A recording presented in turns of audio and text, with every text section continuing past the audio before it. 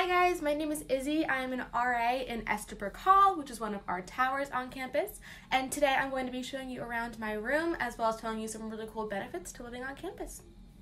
So because I'm an RA, my door is quite fun looking. Um, we have that's on duty every night in every single one of our residential halls on campus, which is really cool because there is an automatic resource if you need one.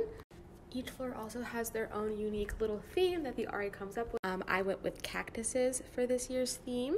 Um, I love the color green and I really wanted to incorporate it. So when you turn the key and open the door, this is my beautiful little room. Um, one of my favorite parts is the fact that the view is really great. It's really cloudy right now, but you can usually see the skyline. All of the residential halls on campus with a bed, a closet, the drawers, a desk, and um, I also do have a fridge. Um, you have the option of bringing a micro fridge, um, which is a microwave and fridge unit in one. Living on campus, you're also able to make your space your very own. So I have a ton of photos in that corner over there. I'm a huge theater fan, so I have a lot of my playbills. Um, I have a ton of clipboards from the jobs that I've had here on campus, and you really space completely your own.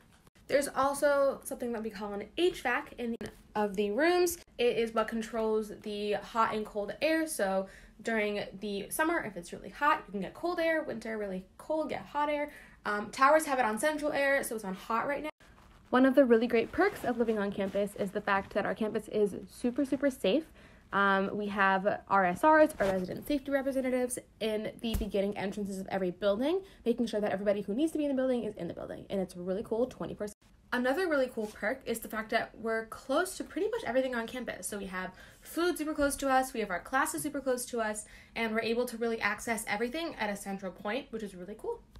I have personally lived in both towers as well as suite style, and I've loved both of them so much. Um, I'd say the main difference is the fact that tower style, you have communal bathrooms that are cleaned for you by the university, um, but in suite style, you have your own bathroom that you have to clean yourself.